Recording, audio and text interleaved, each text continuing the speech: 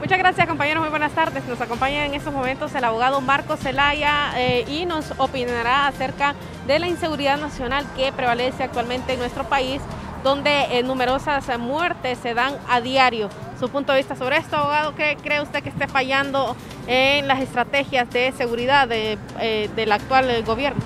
Bueno, nosotros lamentamos que se esté incrementando las muertes de hombres, mujeres, jóvenes, niños, niñas en nuestro país. Eh, lo hemos visto en los últimos años, pero lamentablemente, tal como usted muy bien lo apunta, eh, se ha incrementado en los últimos días y vemos ya casi como normal, y eso es peligroso. El pueblo hondureño lo vemos casi como normal, que diga una masacre en Villanueva, una masacre en San Pedro Sula, una masacre en la zona noroccidental del país y así sucesivamente podemos seguir enumerando este tipo de hechos que están eh, enlutando al pueblo hondureño y más allá de eso generando eh, miedo en la población.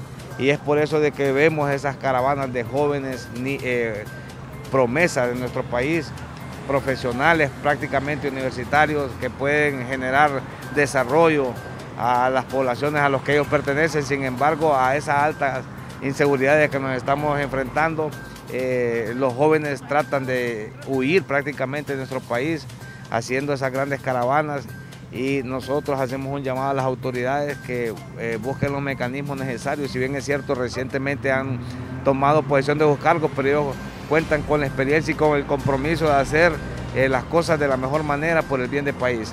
No, no tenemos que dar más excusas, lo que necesitamos es respuesta. La respuesta es dar seguridad, no estar cuidando casas de políticos y, eh, y empresarios a costa del pueblo hondureño. Hay muchos policía, nosotros hacemos un llamado al secretario eh, de, la, de seguridad, al el, general en retiro Savillón, que haga un recuento de cuántos eh, elementos de la Policía Nacional andan cuidando, resguardando las casas, las propiedades de las familias de políticos que son eh, posiblemente de tercera, cuarta hasta quinta categoría y eso no es posible.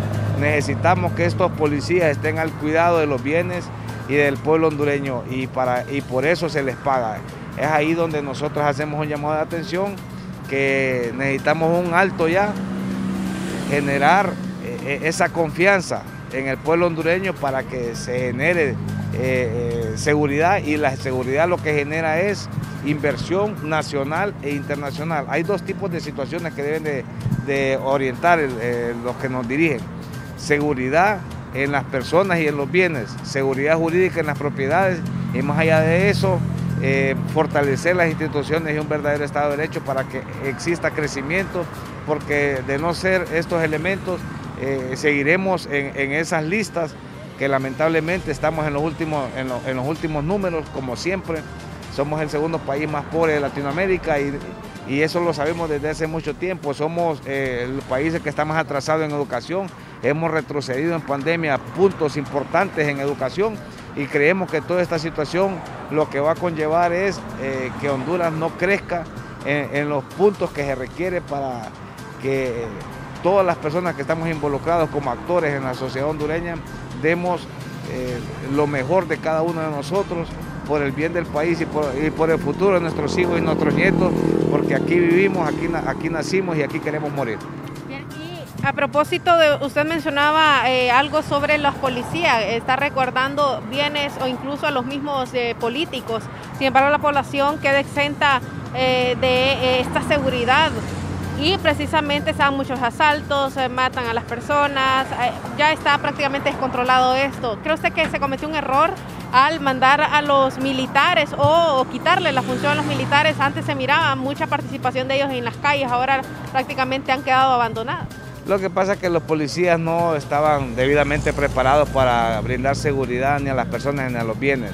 La formación que tiene un militar es distinta, es proteger la frontera, los bosques, proteger la alternabilidad en, en cuanto a la titularidad del Poder Ejecutivo y los demás poderes del Estado. Eso es lo que debe de hacer eh, el Ejército Nacional y, eso, es un mandato constitucional y también lo incluye su, ley eh, interna como es la ley de las Fuerzas Armadas. Nosotros creemos de que debe de contribuir de otra forma, eh, como dicen zapatero a, su, a sus zapatos, resguardar bosques, resguardar las fronteras, resguardar la seguridad aérea, marítima, terrestre desde, desde otras perspectivas y dejémosle eh, la seguridad de los bienes y de las personas eh, a los que realmente están formados y los que están formados son los policías.